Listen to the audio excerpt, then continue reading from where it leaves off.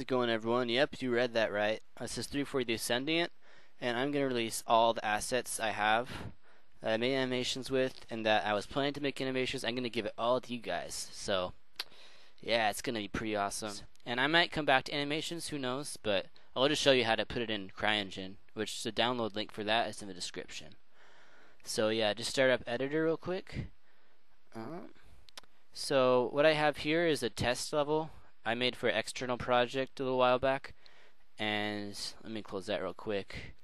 I'm going to put a platform down for you guys and just show you how to put the objects down. So go to geom entity in the rollup bar and then let's use the arbiter. He's a pretty cool guy. Um, yeah, so once you have it down, we'll click M on the keyboard for materials and click the color picker and then you can choose a part of his body that you want to change. And what we're going to do here is we're going to show you guys what happens when you first put it in, when you first import an object into CryEngine, because they don't recognize the material maps yet because you haven't set them and ha you have to reset it and it'll fix itself after that.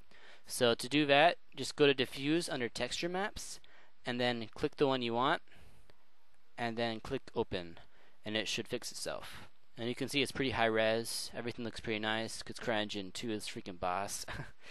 I love that engine. But yeah, you can change the color too. You want a purple arbiter? Well, there you go.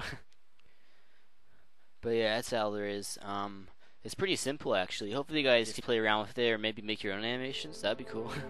but yeah, I'm just, uh, I'll probably be active on my channel for maybe a month after this point.